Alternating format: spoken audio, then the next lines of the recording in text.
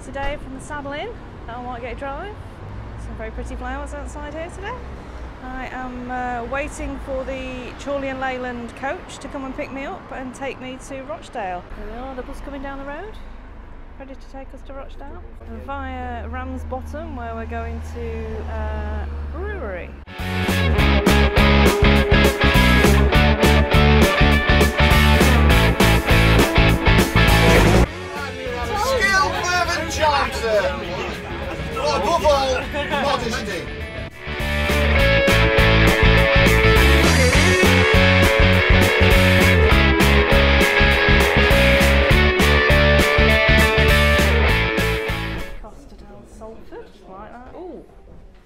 Hello. Is that acceptable for breakfast? Too many exciting beers, couldn't decide which to have, so I've had two halves. Ooh, toot toots. The steam train over there. See the steam?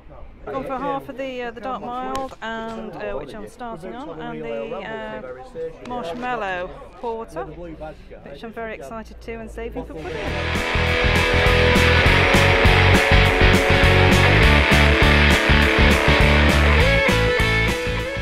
Cope with all this pie disappointment. Um, I just know, I just expect it now. So I didn't have any tea last night. It's Saturday lunchtime. I'm starving. I'm in the pub. I'm having rag pudding and chips and mushy peas with my beer. I may, may well sample the pie. I'm not. Uh, I'm not counting on it today. Uh, Absolutely brilliant so far. Um, been to all the games, um, the, both away games at Southend and Gillingham. I, I absolutely think that the season can go from strength to strength. I think we need to get a few more players in, uh, especially midfield. Um, but hopefully, hopefully we'll be up there at the end of the season. Is that the black pudding works, Mark, on the left? Oh, God, no. It looks like factory.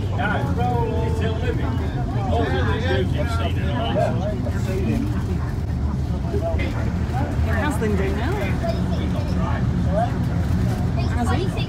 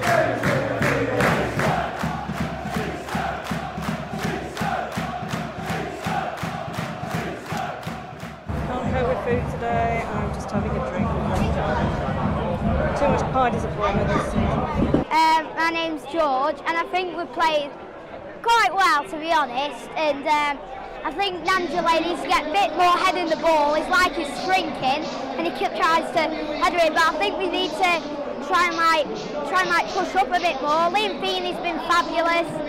I think I think we just need to play a bit more better and rise it up.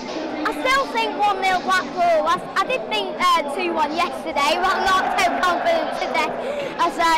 Um, as I, uh, I don't, I don't feel confident.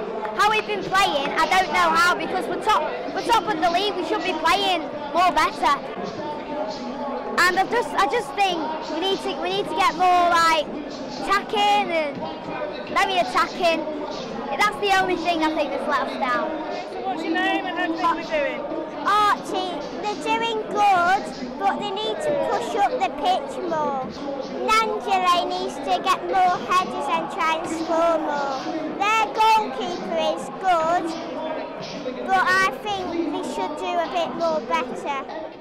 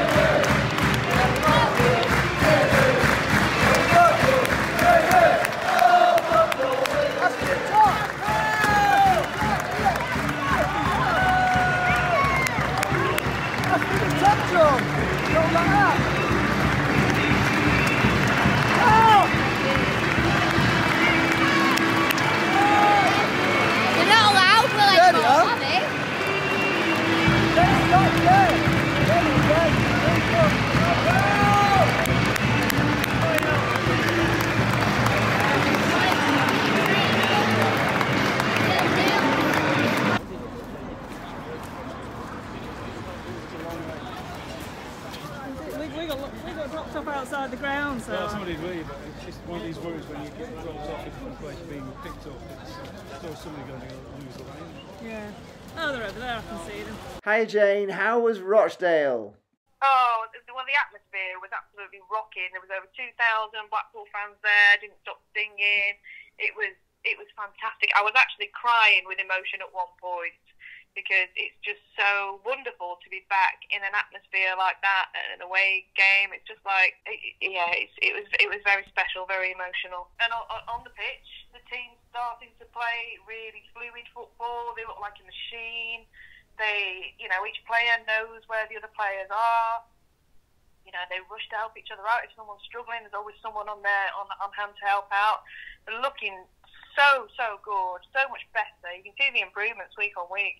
And individually, the players all look like good players as well. Uh, Jordan Thompson, he's a cracking player when he stays on his feet.